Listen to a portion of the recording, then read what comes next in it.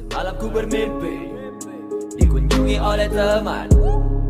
Dia menangis terisak sepertinya Ia kelaparan. Ia mulai bercerita Cerita tentang negerinya. Pemimpinnya kaya raya Tapi dia hidupnya menderita. Ku perlu bertanya Sepertinya masih ada. Masih banyak ceritanya Dan kata yang disimpan di hatinya Ia buka Air mata Lahan mereka Semua direbut paksa kita masih terus mengingat tentang janji-janjinya. Janji untuk mengurangi pepangan.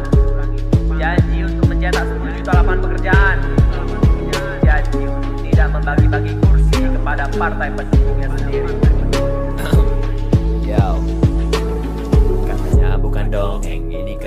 Kenyataan Ini kebenaran Ini kejadian. Petani menangis karena janji diingkar Ketika hendak menagih Dimasukkan dalam sangkar. Aku terdiam Tak tahu berkata Tugasku mendengar ceritanya dia. Aku bersyukur bukan negeri kita Karena Indonesia rakyatnya sejahtera.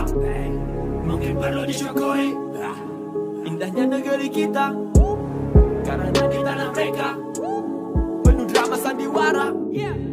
Dan aku masih mendengar Kecewa yang ia rasa Rakyat yang memperjuangkan Pemimpinnya yang merdeka Tenaga kerja asing mengapa mulai berdatangan ke negeri ini?